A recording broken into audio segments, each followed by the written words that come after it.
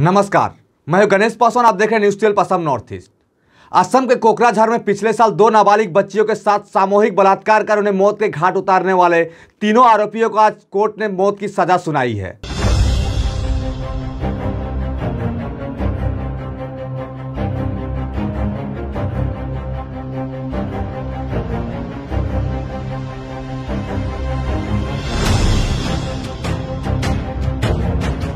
असम के कोकराझार में बीते साल एक दिल दहलाने वाली घटना ने पूरे राज्य को झकझोर दिया था। दरअसल मामला था 11 जून 2021 का, जहाँ तीन हैवानों ने दो नाबालिग बच्चियों का अपहरण कर लिया। ये तीनों आरोपी इंसानियत की सारी हदें पार कर नाबालिग बच्चियों के साथ सामूहिक दुष्कर्म कर उनकी हत्या कर उनके शव को पेड़ से लटका दिया था ताकि यह एक आत्महत्या लगे।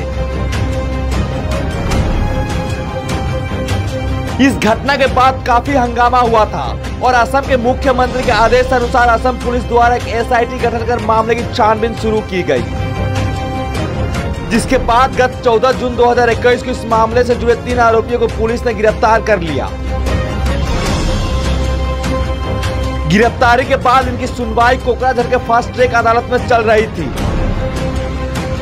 और कोकराझर के फास्ट ट्रैक अदालत ने पिछले साल दो नाबालिग लड़कियों के साथ बलात्कार और हत्या के मामले में शुक्रवार को तीनों दोषियों को मौत की सजा सुनाई है। तदंतु कन्वेंशनल तो हिसाब से चला नहीं। आम इलेक्ट्रॉनिक एविडेंस गुटाइल इलेक्ट्रॉनिक इलेक्ट्रॉनिक एविडेंसर पीछे आम खाली पी एम रिपोर्टर ऊपर निर्भर करा नहीं। নাই আমি চিমেন চেম্পলৰ ব্লাড চেম্পল লৈ পেলাই চেণ্ট্ৰেল ফৰেনচিক চায়েন্স লেবৰেটৰীত আমি ডি এন এ এনালিচিছ কাৰণে পঠাইছিলোঁ আৰু ডি এন এ যেতিয়া তিনিটা একিউজডৰ লগত মেচ কৰিলে তেতিয়াহ'লে কোনোই ইয়াতে সন্দেহৰ স্থান নাছিলে আৰু আজি মই সুখিত আপোনাক জনাবৰ কাৰণে কি মাননীয় ন্যায়ালয়ে স্পেচিয়েল ইনভেষ্টিগেশ্যন টীম গোটেই টীমৰ সদস্যসকলক আজি যে আছে এপ্ৰিচিয়েট কৰিছিলে কোকৰাঝাৰ ডিষ্ট্ৰিক্ট পুলিচক এপ্ৰিচিয়েট কৰিছে যেনে ধৰণৰ তদন্ত হৈছে আৰু মই আশা ৰাখিছোঁ এইটো জাজমেণ্টৰ পিছত ইয়াতে পৰিয়ালবিলাক যে আছে অলপ শান্তি পাব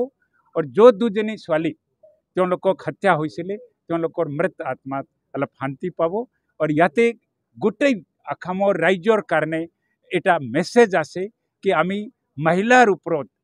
ছোৱালীৰ ওপৰত কোনো ধৰণৰ অপৰাধ যে আছে এতিয়াৰ পৰা চাই आपको बता दें कि इस मामले में तीनों को 6 अप्रैल को दोषी ठहराया गया था और आज कोकराझार के फास्ट ट्रैक कोर्ट के विशेष न्यायाधीश सी चतुर्वेदी ने इन तीनों आरोपियों को क्रमश मुजामिल शेख नाजिबुल अली शेख और फारिजुल रहमान को मौत की सजा सुनाई है স্পেচিয়েল জাজ চি চতুৰ্বেদী কোৰ্টে যিটো এ, তিনিওজন আছামীৰ বিৰুদ্ধে ডেথ পেনাল্টি ডেথ চেণ্টেঞ্চ শুনালে মৃত্যুদণ্ড শুনালে এইটো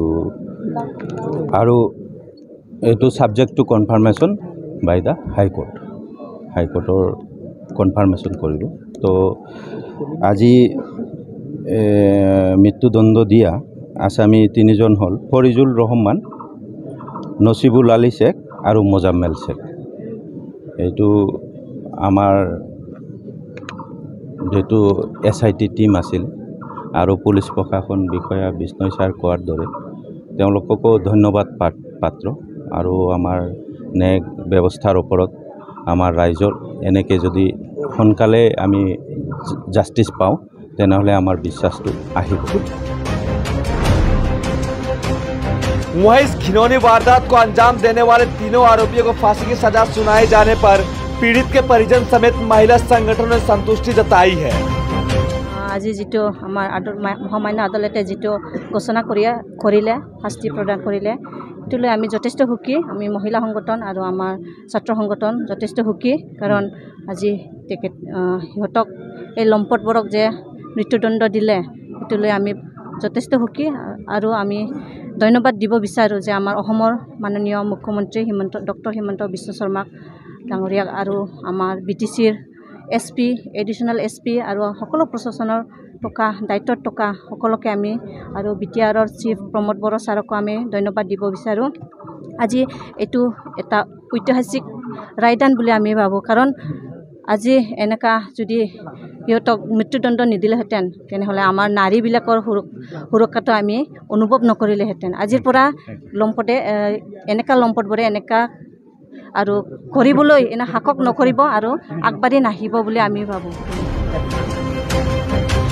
कोकराझर से ब्यूरो इनपुट के सहयोग से news desk report news 12 Assam north east